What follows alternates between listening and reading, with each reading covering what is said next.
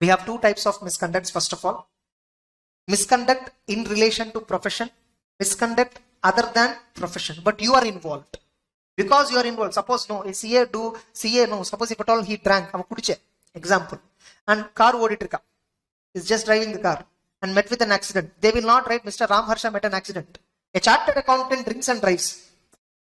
கரெக்டா எப்போ ஹெட்லைன்ஸ் அட்ராக்டிவா இருக்கும் இப்போ நீங்க பாருங்க doctor a doctor is making nuisance in the pub.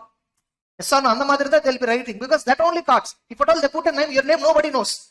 Yes or no? But if a doctor name is used, entire doctor sentiments are, will hurt. No. That is what the newspaper wants, news channels want. So, if at all you do some behavior, you, you, you know, your behavior was in such a way that it is bringing disrepute to the profession. Even though it is your personal activity, it is treated as misconduct by ICAI. So, those misconducts are treated as what? Other misconducts.